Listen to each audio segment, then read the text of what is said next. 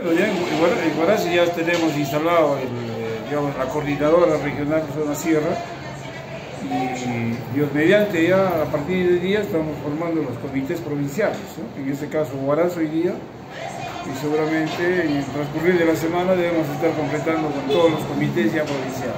¿Cómo está haciendo el trabajo? Bueno, ahorita el trabajo de organización, eh, de formar, digamos, este, los cuadros eh, directivos, porque esto hay que inscribirlo al jurado, y estamos en esa etapa.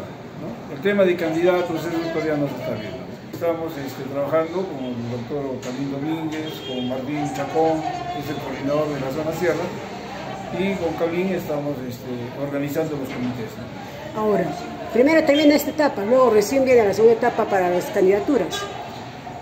Sí, eh, obviamente ya desde que se vencieron los plazos de, de, afiliación para algunos candidatos, como es para, ejemplo, al Congreso, en este caso para diputados, para senadores hay algunos que ya están, pues, que han sido congresistas, ¿no? que es el primer requisito.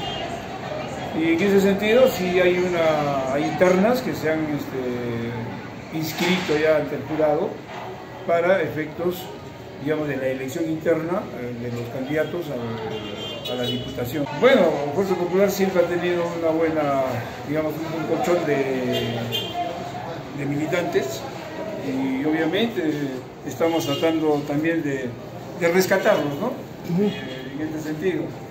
Y están convocados.